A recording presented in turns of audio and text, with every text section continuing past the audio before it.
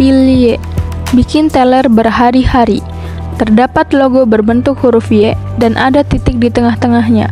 Kalau dilihat-lihat, bentuknya mirip dengan orang yang sedang merentangkan tangan. Dari segi harga dari pil Y lebih mahal dari obat-obatan terlarang lainnya. Harga 10 butirnya mencapai Rp35.000 hingga Rp50.000. Sedangkan untuk pil koplo double LL hanya berkisaran Rp10.000. Efeknya malah lebih mengerikan dari pil koplo lainnya. Pil koplo Y, efek sampingnya tiga kali lebih besar ketimbang jenis pil koplo L. Bahwa ada seorang pengguna pemula yang mengkonsumsi setengah pil Y mengalami teler selama tiga hari, dan ada juga orang yang mengkonsumsi pil Y. Beberapa saat kemudian, orang tersebut berbicara tidak jelas dan berteriak histeris. Faktanya berlogo Y digunakan untuk pasien gangguan jiwa.